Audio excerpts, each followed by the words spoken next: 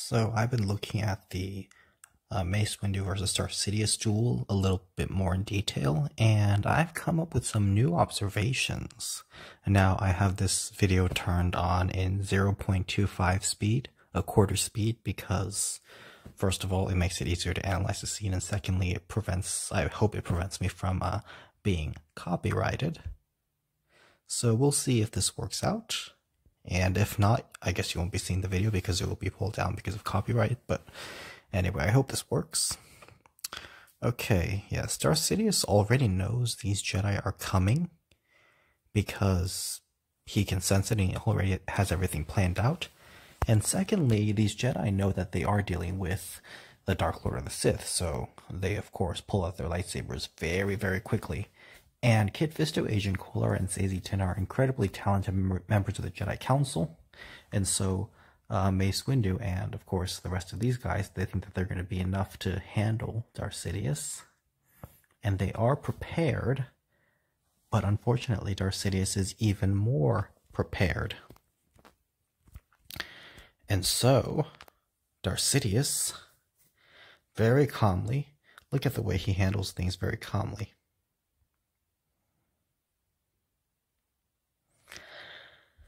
Of course, Darth Sidious is basically saying that he is the Senate. I am the Senate. Basically, he's in charge of the Senate, entire, the entire Republic. Everything is his. It's in his pocket. But Mace Windu still believes that there is a chance to um, stop that from happening. And of course, Darth Sidious gets ready. Now, it, I guess it's probably uncomfortable to hold hit your lightsaber up your sleeve the whole time. But I mean, he does it, so Okay. Here comes the really weird scream, and of course the force scream is supposed to throw the Jedi off guard. Now, what exactly are the Jedi expecting here? Is he are they expecting him to just comply willingly? Obviously, they're not doing that because, oh, by the way, the jump is hilarious. Obviously, they know he's going to attack. That's why their lightsabers ready. But of course, Darth Sidious is so fast, and Mace Windu is the only one who's quick enough to keep up. Of course, immediately Darth Sidious takes out Agen Kolar. And then, of course, Darth Sidious takes out Saesee Tiin. And, oh, by the way, uh, we already missed, uh, let, let me go back. And of course, uh, while Darth Sidious is killing Agen Kolar, Saesee Tiin is trying to kill Darth Sidious. Saesee Tiin is trying to swing and kill Darth Sidious while he's still distracted with Agen Kolar, but Darth Sidious is too fast and he kills Saesee Tiin very quickly.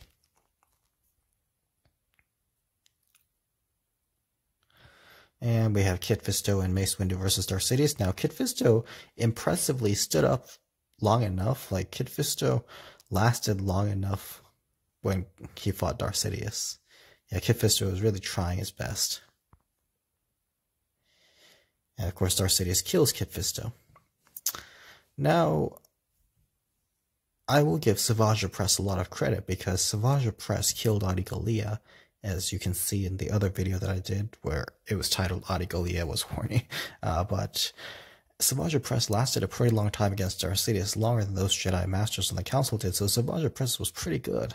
He could probably take out uh, Saesee Tiin and Agen Kolar and Kit Fisto. But yes, um, Mace Windu is, of course, also clearly having a very hard time because Mace Windu, um, even though he was expecting a challenge, he wasn't expecting Darth Sidious to be this powerful.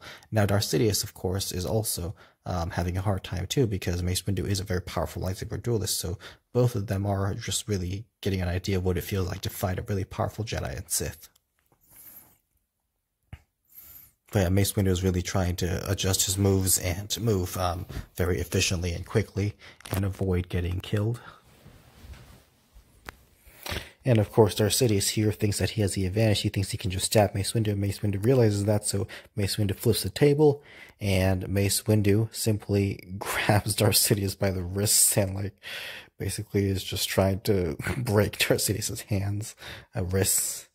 And clearly, uh, since Darth Sidious is so old, like he's struggling, and Mace Windu is just really trying to break Darth Sidious's wrist here, and Darth Sidious is really feeling the pain. And like Mace Windu is getting all up in Darth Sidious's face.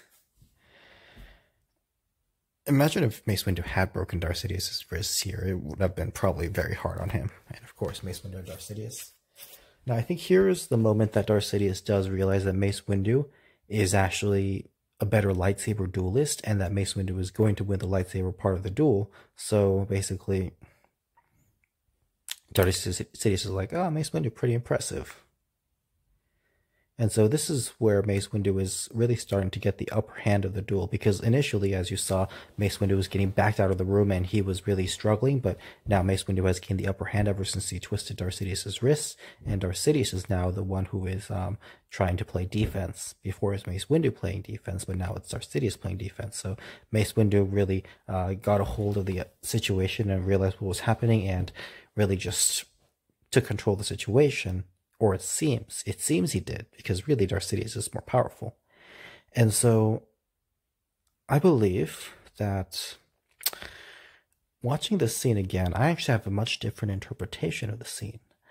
I think that Darth Sidious is actually I think that Darth Sidious's original plan was to kill all the Jedi, was to kill Agen Kolar, Saesee Tiin. Oh yeah, I never noticed. Uh, Darth Sidious just went down on one knee. Wait, wait, wait. Yep, okay, yeah. So they broke the window, and Mace Windu was intentionally leading Darth Sidious to the window so that he can uh, really distract Darth Sidious. And because Darth Sidious has to use his uh, attention, or Darth Sidious kneels, like he he's down on, like he he kneels. It's so weird. Yeah, Darth Sidious is clearly is struggling, and Mace Windu is very impressive. And of course, they have to keep their focus to stop themselves from falling out the window. Yes, so.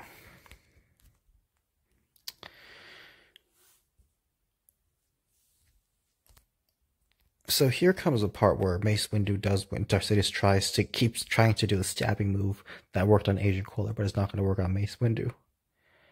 And yeah, clearly they're both struggling. Mace Windu is struggling, but Mace Windu manages to knock the lightsaber out of Darth Sidious's hand with a simple kick. Uh, yeah, oh, oh, oh, I see.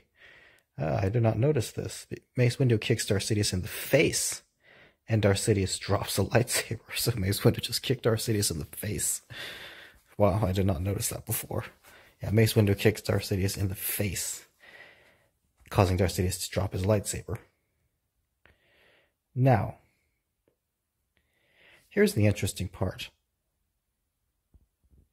Obviously, Darth Sidious knew that he had tempted Anakin enough and that Anakin was going to turn to the dark side. And I think what Darth Sidious was intending to happen was for Mace Windu, Kit Fisto, Agen Kolar, and Saesee Tiin to just come in and try to take him.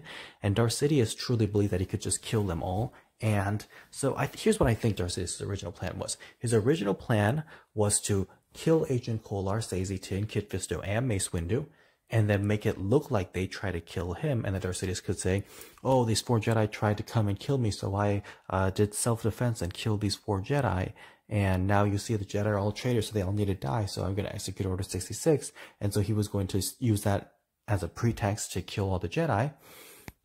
And Darth Sidious probably figured that his propaganda, his lie would work on Anakin, that Anakin would just believe the Jedi tried to kill him, and so uh, Anakin would just willingly just immediately join Darth Sidious and come to the dark side and uh, become Darth Vader. And so Darth Sidious probably figured it would work that way, but Mace Windu did prove to be a lot more powerful than Darth Sidious had bargained for, and Mace Windu was very impressive, and so Darth Sidious initially, as I said, had the upper hand of the duel, and he seemed like he was going to kill Mace Windu by stabbing him, but Mace Windu just grabbed Darth Sidious by the wrist and started trying to break Sidious's wrists, essentially. And so um, Darth Sidious was playing defense, and Mace Windu was getting the upper hand, and of course they went to the window, and Mace and Darth Sidious was basically really struggling and kneeling, and uh, Mace Windu knocked the lightsaber out of Sidious's hand, by kicking Darth Sidious in the face, Mace Windu kicked Darth Sidious in the face, which is what I hadn't noticed before. And so when the tide of the duel changed and Darth Sidious lost the lightsaber portion of the duel, I still am of the opinion that Darth Sidious was more powerful than Yoda and Mace Windu and that he could have used the Force to destroy them. But um, right when this happened and Anakin showed up, Darth Sidious realizes that Anakin is here, and Mace Windu is more powerful than me in terms of lightsaber combat, and so Mace Windu did get the upper hand. Of course, I could just drag back with the Force and destroy Mace Windu at any time. However, with this opportunity, seeing as how Mace Windu has knocked the lightsaber out of my hands and I look defenseless, I can use this to appeal to Anakin and uh, fully turn to the dark side. Because really what fully turns Anakin to the dark side is the fact that Anakin helped kill Mace Windu. The fact that Anakin helped kill Mace Windu is what turns Anakin to the dark side, essentially, because Anakin realizes that there's really no going back from helping kill Mace Windu. Like, come on, like, Anakin, because he's killed Mace Windu, he's basically a traitor to the Jedi. And of course, Yoda is going to kill Anakin when he finds out.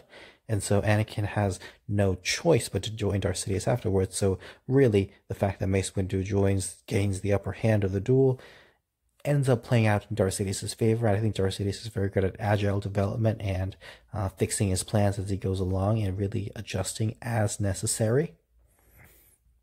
Now, did Darth Sidious actually think that Mace Windu would be killing him?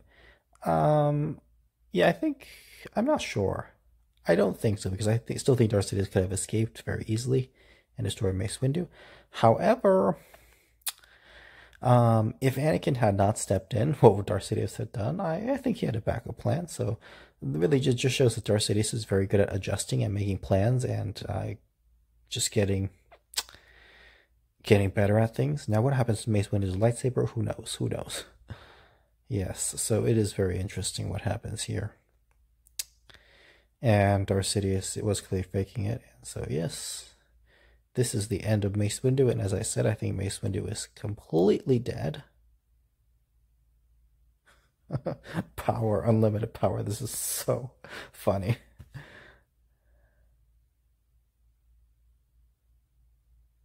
Yeah, I really love this scene. It's such an awesome scene uh, Hayden Christensen and Samuel Jackson and Ian uh, McDiarmid. They they all did a very good job.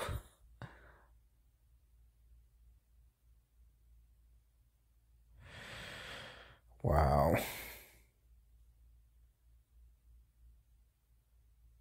Unlimited power.